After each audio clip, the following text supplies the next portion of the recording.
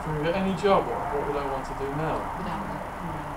Um, stock market and you know, it's like I was in the rat race and dropped out of that, and I wouldn't want to go back to that.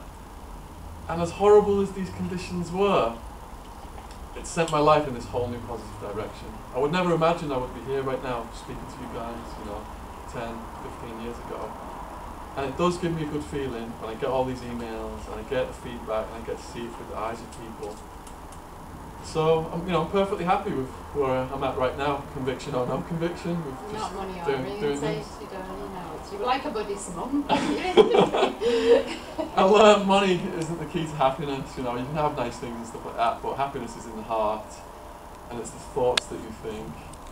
And if you're working, doing something that's making you happy and helping people, you know, that's more important.